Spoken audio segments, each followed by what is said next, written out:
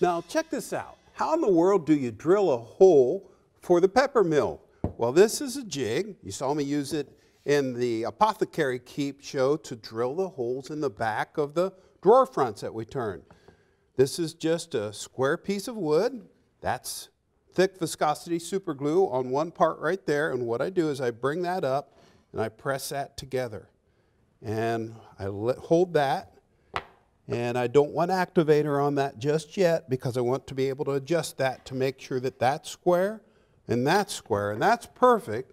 And now, once that glue cures in about two minutes, I can screw this entire thing to this cleat down here, screw here, screw here, screw here, screw here, and that will become, once the glue is cured and screwed together here, the jig that keeps everything square, and I clamp this jig to the drill press table and drill the holes.